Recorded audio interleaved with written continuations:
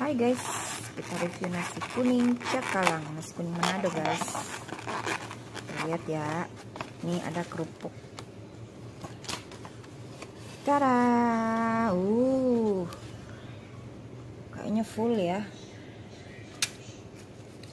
Lauknya berlimpah guys. Ini ada bihun Ada paru Telur paling best nih cakalang dan nasinya di bawah and sambal. Plus kerupuk.